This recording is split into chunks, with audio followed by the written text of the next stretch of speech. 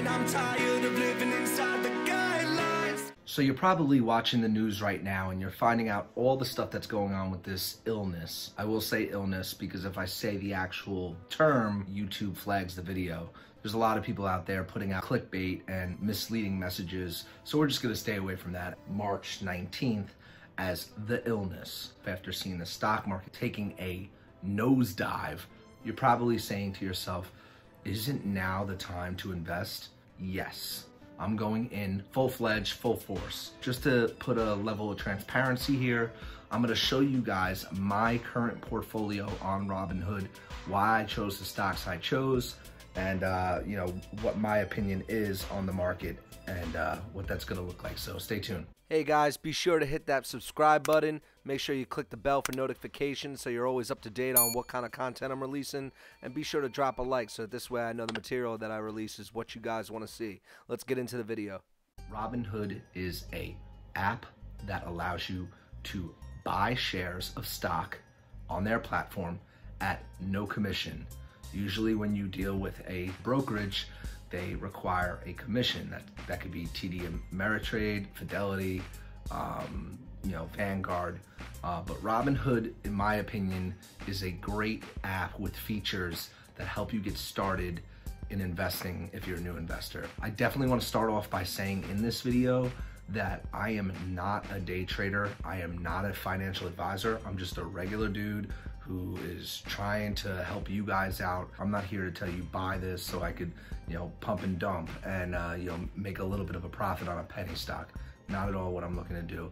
I really suggest you guys look into this app. I think it's super helpful. And now, especially now, is the time to download this app. If you want, below in the link is a sign up affiliate link to Robinhood. When you click that link and download the app, you will get a free stock and so will I gives you a first glance into the platform. Dive into the app. If you look at how this app works, you have one day, one week, one month, three month, one year, all time. If I hold on the line at the back here, you could see the date. It was all the way back in 2017 that I even had this app. I just never used it. So in the last week, if you're familiar with the illness, the stock market in all industries took a complete nosedive. And you can see that over here at, at the corner here. Overall, I've invested about $3,647. But you can see I've lost $350. Now, wouldn't that want to send me into a panic and sell everything off right away? No. I personally am looking for stocks that have been successful over a long period of time and have a really good dividend yield. I want to scroll down and show you some of my watch lists. One of the stocks I've been watching is Tesla. Now, just to give you an idea, in the last week or month rather, let's go three month, you'll notice that Tesla was selling at $917 a share. Then with this illness that happened, all of the stock dropped drastically as they started closing plants. The fact that it's bottoming out right now makes it a really good time to purchase it. The reason I'm not purchasing it unless it falls below $200 is because it's not a stock that gives a dividend. And you can see that in the bottom right corner of the stats right there, the dividend yield. Now, let's go into the stocks that I currently have and explain why. This is over 25 stocks. For starters, I decided I was gonna purchase the SP, SPHD, which is the PowerShares S&P 500, high dividend, low volatility. If you're familiar with the S&P 500 or some of these index funds or ETFs, they historically always grow up. Now you'll notice over the last five years, if you run your finger across this, it hasn't gotten lower than the 30 mark. The minute I saw it get lower than the 30 mark, which is about a week ago, I purchased it for 18 shares around $28. When this economy decides to rebound and bounce back, the object of the, or the, the assumption of these stocks is that they're going to continue to grow over time. That's why I'm taking this risk. I feel like I've gotten a five year time machine opportunity from Back to the Future to go back five years and go and say, oh, wish I could have bought a stock then. That's what it feels like for all these stocks. So I bought 18 shares of the stock and you could see that the dividend yield is 5.92. That's a very good yield. Anything between two to four is something that is a healthy kind of business. Obviously, the higher dividends that you might want to grab, they would pay out more, but they could have a lot of risk tied to them. It isn't just the S&P 500, it's 50 of the top safest, if you want to say, dividend payout stocks. Next is RCL. You'll notice that the airlines and cruise ships took a major hit. When this happened, I started buying a bunch of airlines and I started buying a bunch of cruise lines.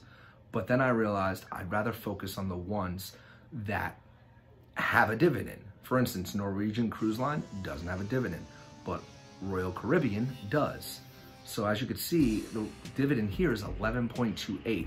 And given the status that we're in in the economy because of the illness, you know, there's a lot of news every day, day to day, that you know something different is happening. You'll notice here in my position, I have 16 shares at an average $28 cost. Now, I could continue to throw more money at this because the price is $22. So for an investor like you, maybe you want to purchase a couple of these at 22. And if I was to purchase them now, that would be averaging down my cost.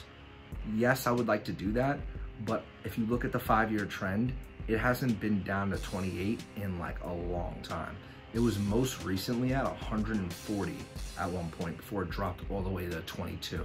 So I'm comfortable where I'm at at 18, uh, 16 shares of $28. ExxonMobil, an oil company, I have that 12 shares with an average cost of 37 and the dividend yield is 9%. Again, this is not even 37 anymore, it's 34. At the current time that you're watching this video, all of these stocks I was purchasing just three or four days ago because I saw how much of a discount I was gonna get on them and I'm anticipating that the rebound effect is going to happen. The economy we are in right now is strong. This is just a, a really strange pandemic that happened to happen and it's affecting every industry. I wanna be very clear here. I'm not telling you guys that you should go out and spend thousands of dollars on stocks right now. It's actually the opposite. What I'm telling you to do is maybe click the link below, get me a free stock, thanks, get you a free stock and start monitoring this.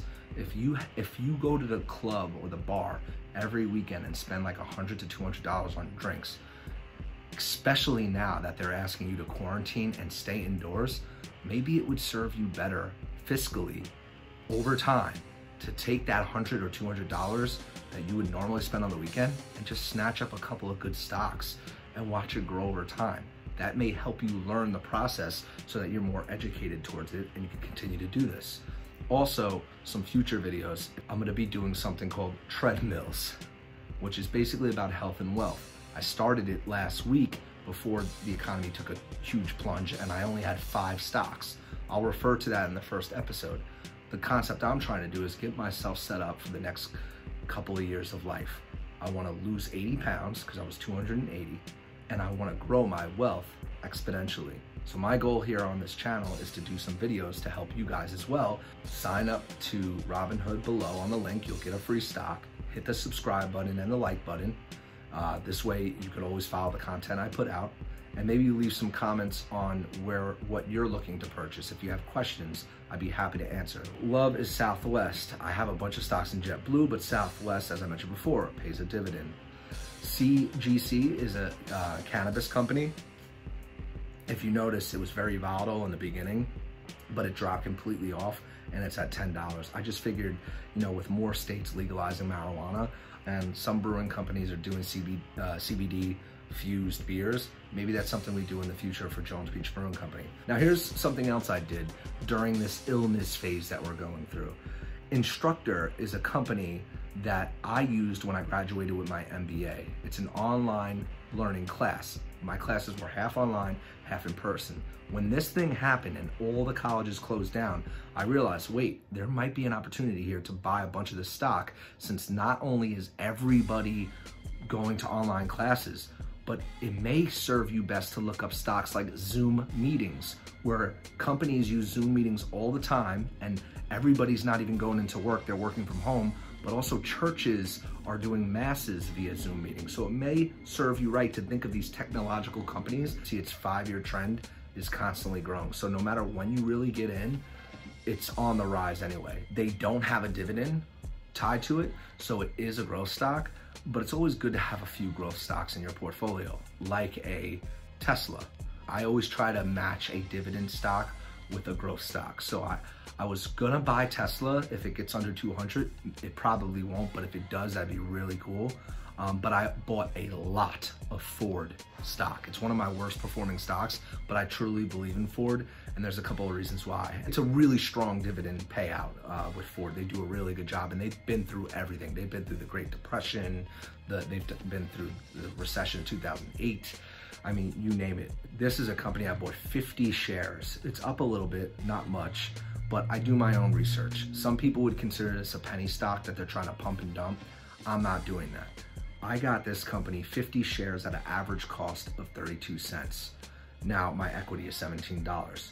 The reason I'm doing this is I've read in the news that Amazon is looking to use AgEagle aerial systems for their drone services. So they're probably gonna, you know, partner with them and help support their drone service. It's $17, 50 shares, whatever. I'm just gonna purchase this and watch it take off. You know, but the point I'm trying to make here is the reason I'm downloading this app is I'm taking my time to figure out how I can set myself up for success. I would suggest to you guys to just get familiar with the app. Right now, I personally feel is a great time to pick up some stocks. And if you find some things you're interested in, I always like to pick things I'm interested in. For instance, Smile Direct Club. It's, a teeth straightener, uh, braces. That's a stock that I'm buying because I'm using it find companies that you think you are going to succeed, companies you really support, and try to be in it for the long haul. Oh my God, if you if you remember, if you're watching this video currently on the 19th or in the future, if you remember March 18th, I was sitting here sweating like, what is going on? Did I make a mistake? I was gonna panic and sell. A lot of people were saying, sell, sell, sell. No, no. If you already have the app, average down your cost per share by purchasing discounted shares if you're just getting started, you are in at the bottom, or at least at some part of the, the curve of the bottom, whether it's the front or back end of it. Maybe not the full bottom because it may continue to go down. And if it does continue to go down, this advice still would pertain to you. The only advantage you're gonna have over me is getting some of these shares at a better average cost per share. If a bunch of these go out of business and bankrupt, then that sucks, but I have a pretty strong feeling that's not gonna be the case. And if I am wrong, I apologize. Again, I'm not your financial advisor. I'm just a regular dude on YouTube answering people's questions about, you know, how I budget, how I finance, how I, you know, start businesses, how I do branding, how I did with my MBA. This is why I call the channel All Around Mills. I suggest in the next 14 days, if you're interested in losing some weight and you know looking at the market and talking about it with me, follow my series Tread Mills, health and wealth. And I'm gonna start this process of losing 80 pounds. And I'm gonna start the process of, you know, building a really good portfolio. And right now I have a pretty good amount of stocks. That's it for today. Again, if you appreciate some of the content I put out there, smash that like button. Also hit that subscribe button for me. And also leave a comment. Let me know what your thoughts are on the market, where it's gonna go, what you continue to see. And you know, hopefully we all come out on top. Have a good day and stay safe.